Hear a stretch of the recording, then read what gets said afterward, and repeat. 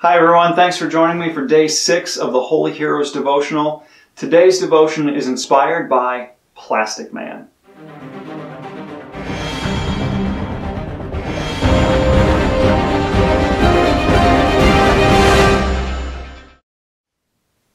DC Comics' silliest superhero, Plastic Man, puts the comic in comic books.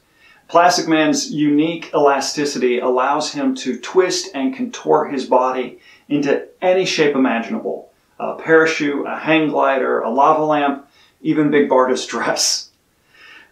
Although his preposterous personality and unparalleled pliability lead to lots of laughs, Plastic Man's origin story strikes a much more serious chord. We learn Plastic Man's tragic tale in an episode of Batman the Brave and the Bold. Plastic Man recalls I was a low-life crook named Eel O'Brien, working in Kite Man's gang.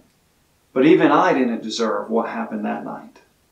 O'Brien and his fellow thieves assist Kite Man with a heist at a chemical plant. But after the criminals break into the safe and steal the loot, Batman makes a dramatic entrance. Jigs up, Kite Man, Batman says as he leaps from the shadows. While Batman battles Kite Man, slippery Eel O'Brien grabs the cash and tries to make his escape. With the flick of a wrist, Batman launches a batarang at O'Brien and knocks him into a vat of chemicals. That story sounds a little familiar. Batman, of course, rescues O'Brien from the vat of chemicals, but not before the chemicals have a mutagenic effect on him. Those chemicals turn me into the freak I am today, Plastic Man recalls. Surprisingly sympathetic, Batman watches over O'Brien as he recovers in the hospital and then sets him on the straight and narrow path. There are no happy endings to a life of crime, Batman cautions. O'Brien testifies against Kite Man in court in exchange for a lesser sentence. And then Batman vouches for O'Brien at his parole hearing, saying, I give you my word I'll take full responsibility for O'Brien's rehabilitation. From that point forward, Batman mentors O'Brien, teaching him to use his newfound abilities to fight crime as the infinitely elastic plastic man. I think many of us can sympathize with Plastic Man's experience. You're like Eel O'Brien, we're all lawbreakers. Don't believe me? Compare your life to these three simple laws from the Ten Commandments. Number one, you shall not steal.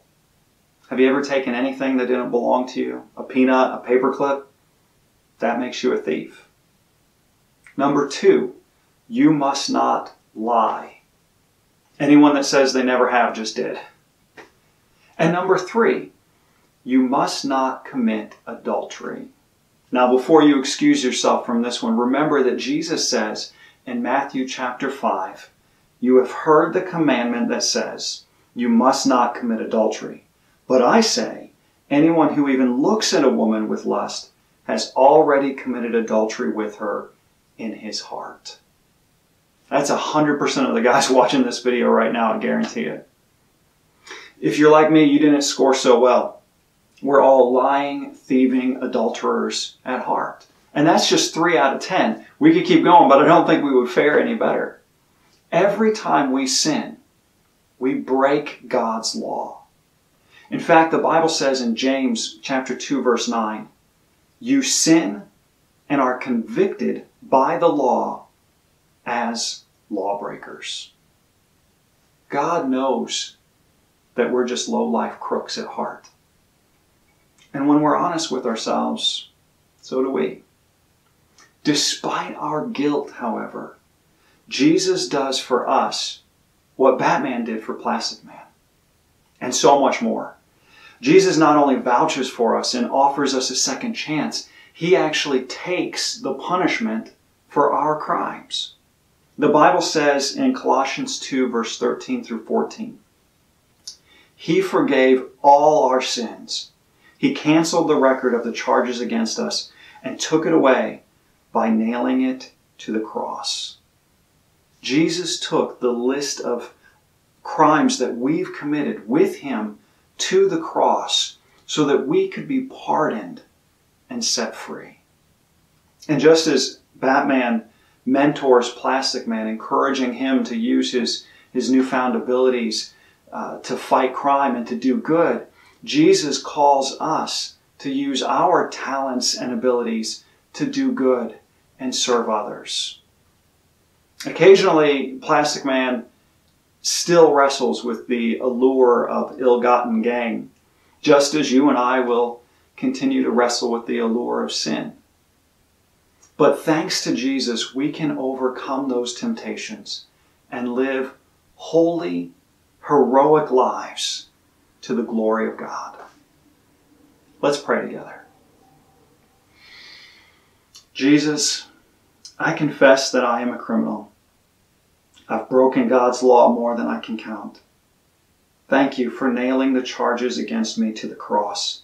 Thank you for forgiving me and giving me not only a new lease on life, but a whole new life in Christ. Help me to utilize my skills in your service. In Jesus' name, amen. I want to thank you once again for joining me for today's devotion. And if you'd like to continue to join me in the future, hit the subscribe button uh, and the notification bell so that you won't miss a single one. In the meantime, God bless and be heroic.